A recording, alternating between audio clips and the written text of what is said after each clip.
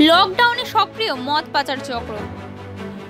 সাতশো তেরো কার্টুন মদ বিহারে পাচারের আগে উদ্ধার করল শিলিগুড়ি মেট্রোপলিটন পুলিশের নিউ জলপাইগুড়ি থানার পুলিশ। গ্রেপ্তার দুজন।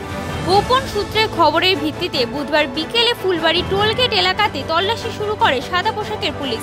অসম থেকে বিহারগামী একটি ট্রাকে তল্লাশি চালিয়ে উদ্ধার হয় প্রচুর পরিমাণে বিদেশি মদ। গ্রেপ্তার করা হয় ট্রাক চালক জিতেন্দ্র সিং সহ সহকারী চালক সোনু কুমারকেও। তাদের কাছে মদের কাগজ দেখতে চাইলে কোনো বৈধ কাগজ দেখাতে পারে না তারা। পুলিশ গাড়িটি আটক করে থানায় নিয়ে আসে। পুলিশ সূত্রে জানা গিয়েছে, মেঘালয় থেকে বিহারে পাচারের জন্য এই বিদেশি মদ অবৈধভাবে নিয়ে যাচ্ছিল। উদ্ধার হওয়া মদের বাজার মূল্য প্রায় সতেরো লক্ষ এগারো হাজার দুশো টাকা।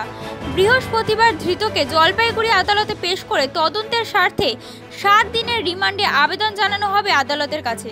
সেখানে যেখানে বিহার, পশ্চিমবঙ্গ সহ বেশ কয়েকটি রাজ্যে লকডাউন লাগু রয়েছে। সেখানে কীভাবে লকডাউনকে উপেক্ষা করে প্রশাসনের চোখে ধুলো দিয়ে বিভিন্ন রাজ্য পেরিয়ে বিহারে মদের কারবার করছে মদ মাফিয়ারা, তা নিয়ে কিন্তু ধোঁয়াশা একটা রয়েই গেছে। শিলিগুড়ি থেকে ভাস্কর চক্রবর্তীর রিপোর্ট, টাইমস বাংলা।